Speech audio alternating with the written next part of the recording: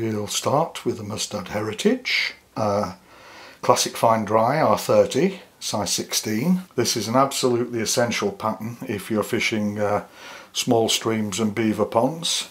I have sheer 40 naught tan. You can use different colours of course depending on what you require.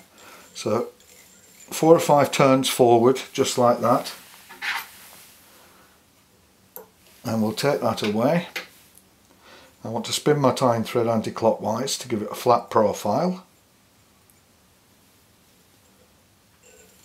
because we want a super slender body here. Just go back like this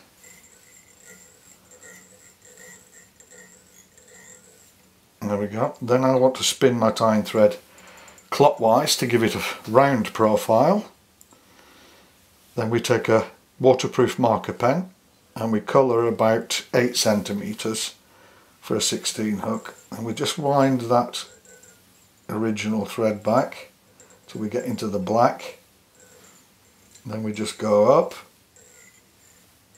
over the body to make the rib. And we get to there. Then I need a super fine peacock herl from just under the peacock eye We'll spin our tying thread clockwise, uh, anti-clockwise again.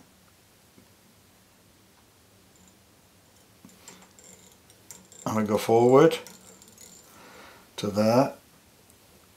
And then all we need to do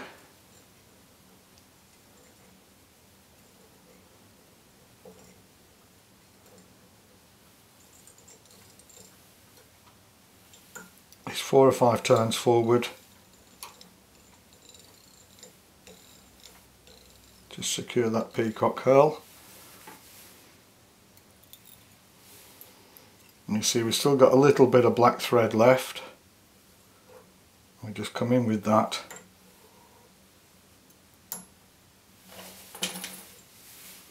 Whip finish. Remove our thread.